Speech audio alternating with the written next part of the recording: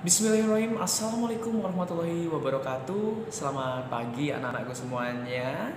Salam sehat untuk kita semuanya. Alhamdulillahirrahmanirrahim Pada pagi hari ini Masih dipertemukan lagi di pembelajaran Pendidikan jasmani dan kesehatan ya. Dan anak-anakku semuanya Pada kesempatan yang baik ini Bapak akan memberikan materi yang berjudul Aktivitas Atletik apa sih aktivitas atletik itu? Aktivitas atletik adalah meliputi nomor yang pertama jalan, yang kedua lari, yang ketiga lompat, dan keempat lempar. Baik anak-anakku semuanya, pada pagi hari ini Bapak akan menjelaskan tentang pengertian lompat tinggi ya. Lompat tinggi merupakan salah satu cabang olahraga yang melakukan gerakan lompatan untuk mencapai lompatan yang setinggi-tingginya. Untuk ukuran lapangan sama dengan lompat jauh. Tinggi tiang mistar minimal 2,5 meter, panjang mistar 3,15 meter.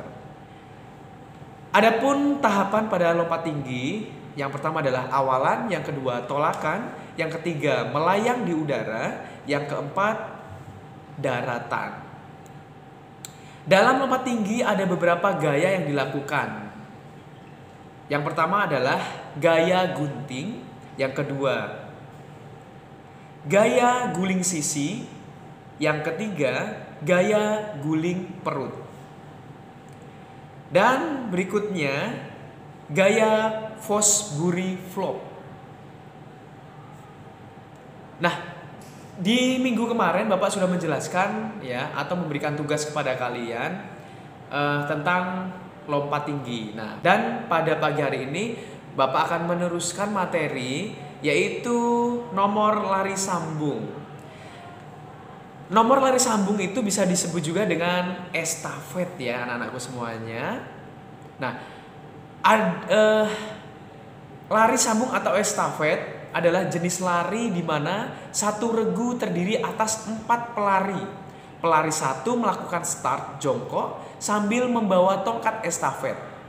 Sedangkan pelari kedua, ketiga dan keempat menunggu kedatangan pelari sebelumnya untuk menerima tongkat estafet dengan menggunakan star melayang. Pemberian dan penerimaan tongkat harus berada di daerah pergantian tongkat yang berjarak sejauh 20 meter anak-anakku semuanya. Dan teknik penerimaan tongkat ada dua macam ya. Ingat ada dua macam yaitu dengan cara melihat si pemberi tongkat atau yang disebut juga dengan visual dan dengan cara tidak melihat si pemberi tongkat atau disebut juga dengan non visual. Tongkat yang digunakan untuk lari sambung harus dibuat dari pipa halus berselubung atau biasa terbuat dari kayu, bambu atau bahan sintetis lainnya dengan ukuran standar sebagai berikut ya. Ini ukuran eh, tongkatnya ya. Panjang antara 28 cm sampai 30 cm. Keliling pipa antara 12 cm sampai 13 cm. Berat tidak kurang dari 50 gram ya. Jadi kurang dari 1 kg ya anak-anakku semuanya. Dan e, tongkat harus dicat warna agar dapat dilihat dari kejauhan selama dibawa berlari. Baik, teknik latihan gerakan lari sambung sebagai berikut ya. Satu pelari satu ya, berangkat dengan memegang tongkat pada tangan kanan menggunakan start jongkok.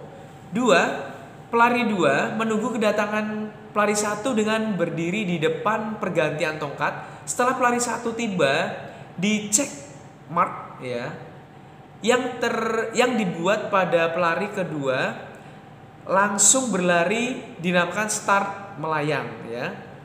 Pelari satu mengejar pelari kedua dengan memberikan tongkatnya dengan tangan kanan. Kemudian pelari kedua menerima tongkat dengan tangan kiri dan selanjutnya sampai dengan pelari keempat yang terakhir ya langsung ke menuju ke garis finish. Baik itu tadi anak-anakku semuanya materi uh, atletik ya dengan nomor lari sambung atau dengan nomor lari ya dengan spesifikasinya lari sambung. Bagi anak-anakku semuanya yang masih belum paham bisa lihat di uh, Google atau di channel YouTube lainnya anak-anak semuanya. Baik, untuk soal pada hari ini yaitu apa pengertian dari lari sambung? Dan yang kedua, berapa ukuran standar tongkat pada lari sambung? Terima kasih anak-anakku semuanya. Saya akhiri bila taufiq walhidayah. Wassalamualaikum warahmatullahi wabarakatuh. Selamat pagi semuanya.